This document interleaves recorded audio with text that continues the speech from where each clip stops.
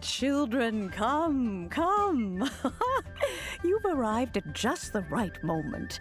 I've been looking for you. Oh, what is it, Granny? Need any help?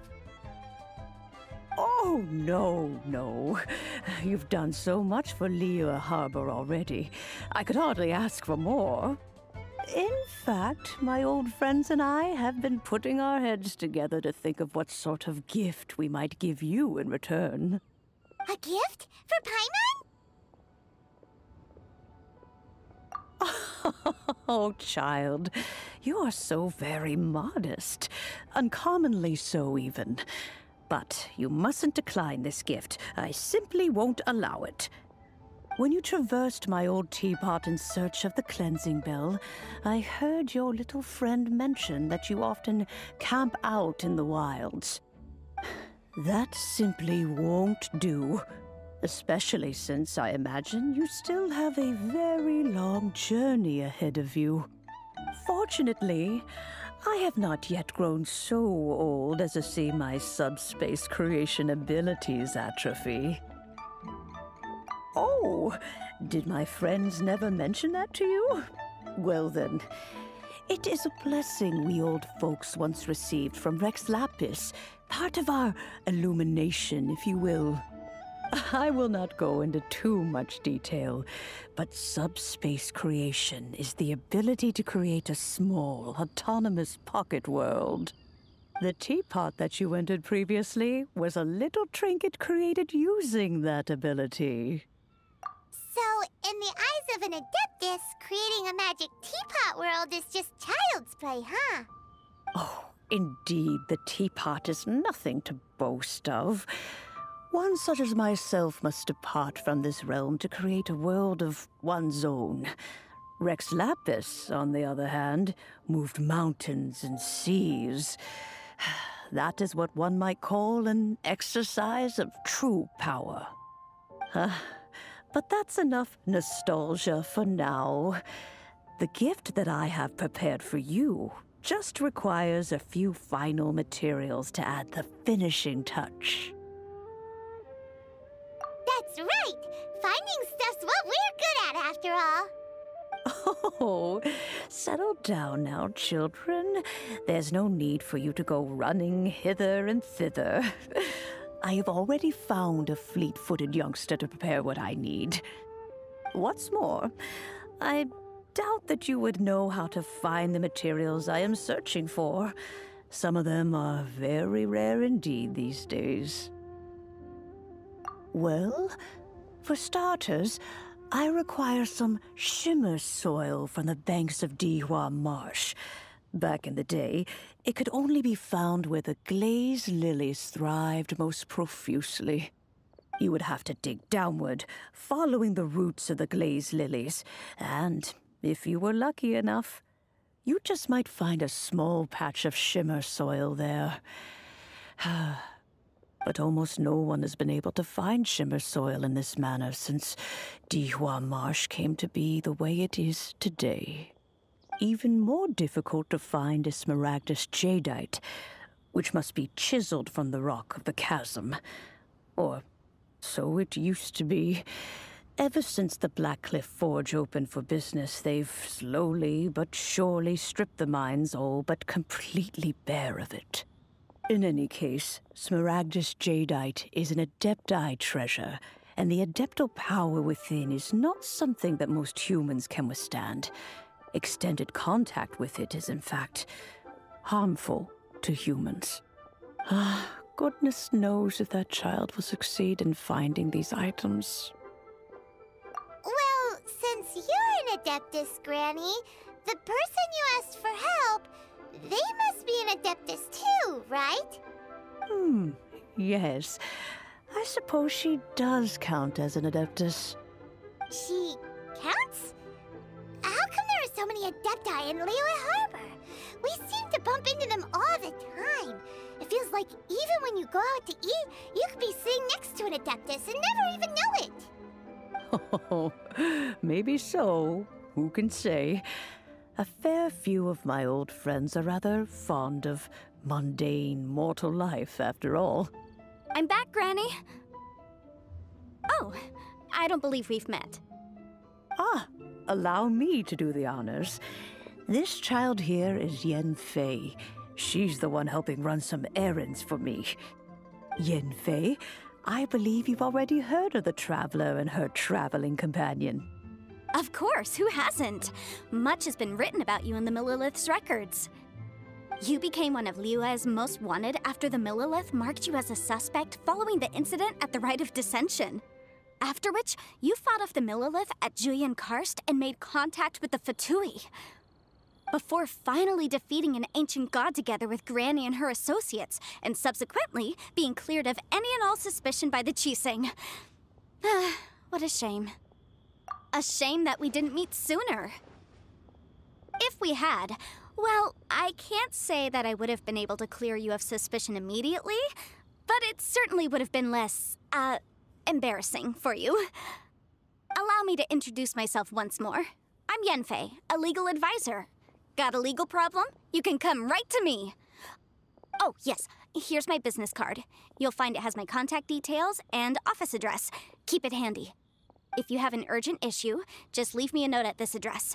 Oh, and I almost forgot to mention, I offer a very generous discount for first-time customers. All right, Yanfei, all right. Let's get to the business at hand. I do not think these two are in any dire need of legal assistance at the moment. You'll have to excuse Yanfei. She's always been like this, ever the talkative one when it comes to her own affairs. Paimon was gonna ask the same question. You seem really different from the ones we've met before. An Adeptus? Uh, I guess. Kinda. My old man said he was one anyway. He mentioned that he once campaigned with Rex Lapis for a long old time, and then after that was all over, he went back and married my mom. They had me, and once I was all grown up, the two of them upped and left on a journey, leaving me with Granny here. Well, that's a bit casual for an Adeptus. Aren't you guys supposed to sign solemn contracts to protect Liyue Harbor and all that stuff? What do you mean he just went back to get married? Well, my dad did say that he'd talked it through with Rex Lapis and that he was fine with it. Even contributed towards the wedding gift, apparently. Anyway, let's not dwell on that too much.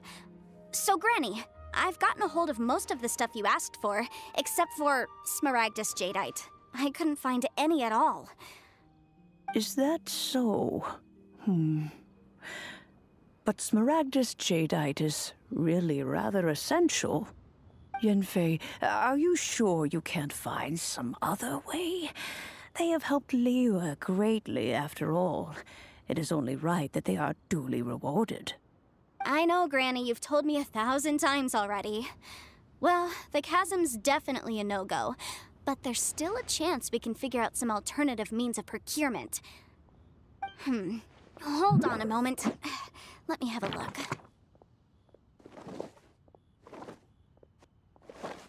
Whoa, that's a really thick book. What kind of things do you write in there?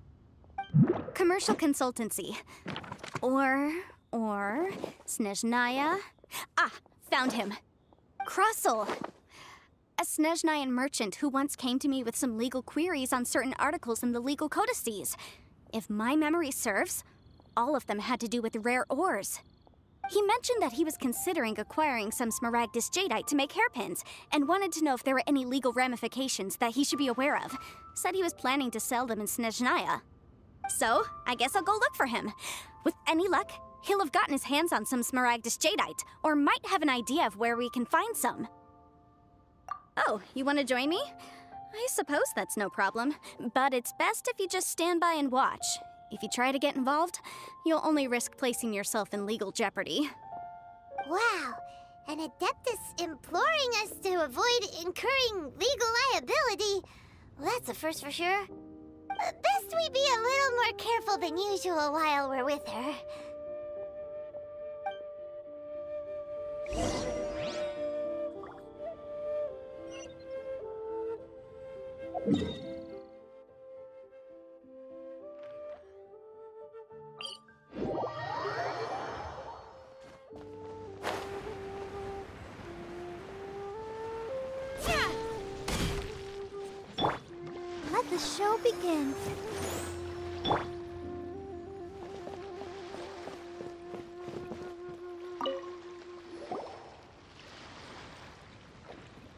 Mr. Crossell. How's business been? Oh, good, very good. All thanks to your advice, Miss Yanfei. Hmm, What brings you here today? You're too kind. I was simply doing my job. Now, I believe that the last time we met, you mentioned that you were looking to source some Smaragdus jadeite to make hairpins. Have there been any further developments on this front? Uh, well, yes. As a matter of fact, uh, in the end, I did acquire a small piece of Smaragdus jadeite and had it fashioned into a pair of hairpins. Miss Yanfei, might I presume that you have an interest in the hairpins? I must apologize. I've already rented them out to a lady named Zhi Qiao. If you'd like to inspect them, you may have to wait quite some time. Wait, isn't Smaragdus jadeite really rare? Aren't you worried about the hairpins getting damaged or lost while they're being rented out? No, I'm not worried in the slightest, because I signed a contract with Miss Zhi Qiao before renting them to her. The contract makes it quite clear that if she loses or damages the item in question, she must compensate me for its full original value. In return, I included a clause that guarantees the Smaragdus jadeite is genuine, with a penalty of 10 times the item's value payable by me to Miss Zhi Qiao in the event that it is shown to be a fake. Guaranteed genuine, with 10 times the value payable if this claim is shown to be false. Yes, these terms are very clear indeed. Of course. This way, both the client and I have the assurance we need. To ensure fairness, each of us has retained an original copy of the contract. In that case, might you know where Miss Chow lives? We'd like to pay her a visit and have a look at the hairpins. Oh, of course. She wrote her address down when we signed our contract. Here, I'll mark it on your map for you. Thanks a lot, Mr. Crossell. We'll be off now.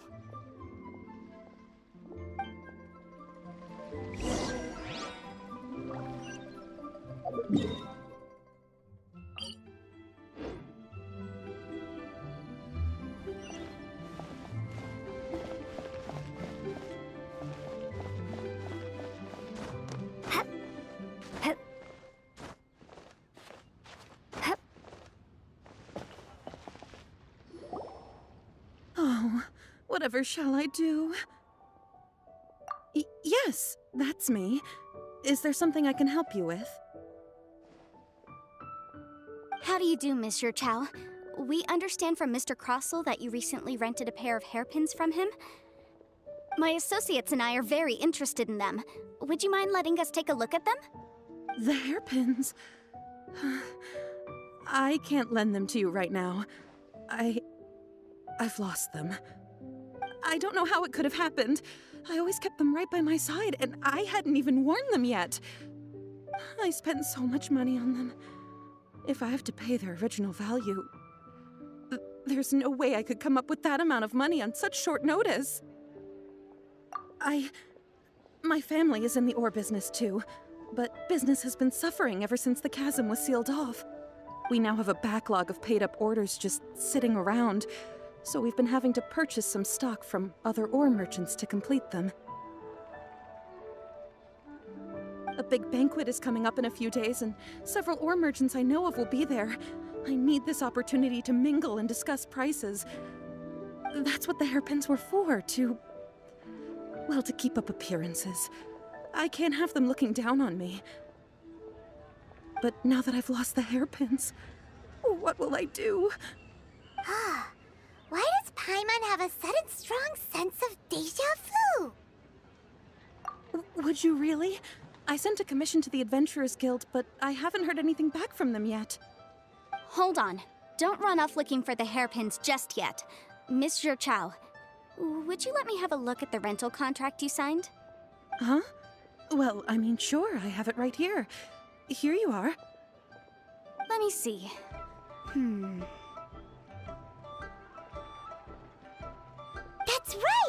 Yanfei said she's a legal advisor, didn't she?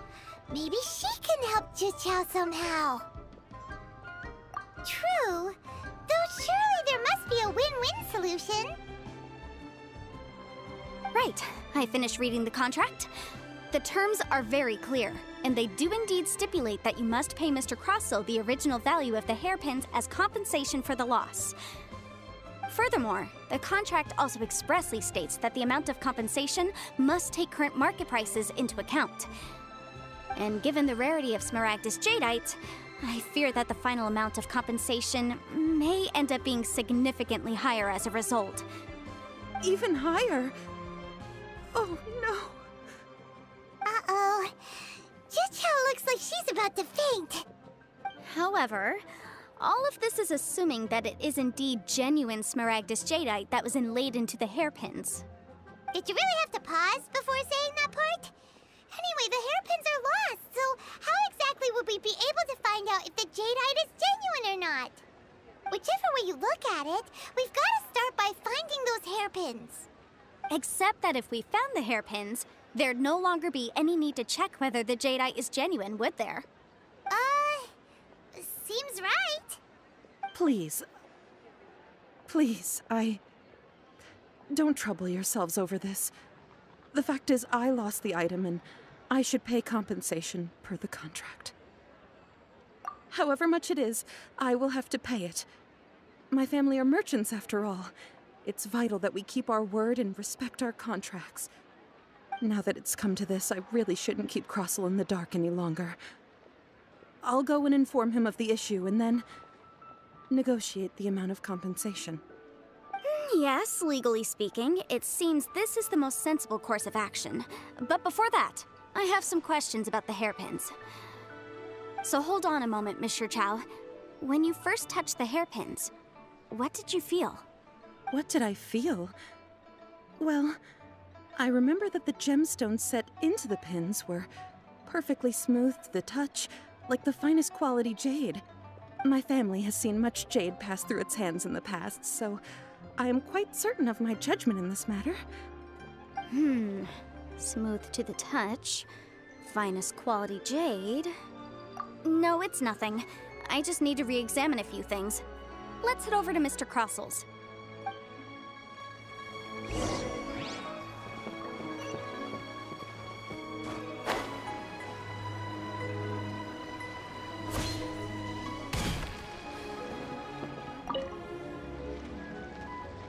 Miss Yanfei, you've returned.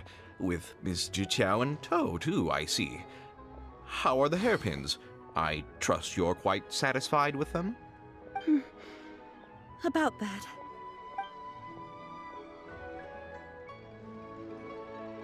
You lost them? Are you serious? Do you have any idea how expensive they were? I'm sorry. I'm sorry. Truly, I am. I'll pay the compensation as per our contract. Every last mora. Mora? Do you have any idea what I had to go through to get my hands on that Smaragdus jadeite? I I just don't forget it. Talking won't bring them back. Since Miss Yanfei is here, I suppose we can just have her estimate the amount that needs to be paid. No problem. But before I can give an official estimate, I'll need to do a little market research. Ah, yes, and if I may just confirm again, it was in fact genuine Smaragdus jadeite inlaid into the hairpins, correct? Of course. Genuine article guaranteed, or I pay back ten times the value. All right, understood. I'll conduct some market research, and once I'm back, I'll provide an official assessment of the sum owed by Mr. Chow in compensation. Please wait here, Mr. Crossell. Thank you very much. How could she lose my hairpins? She'd better pay every last mora that they're worth.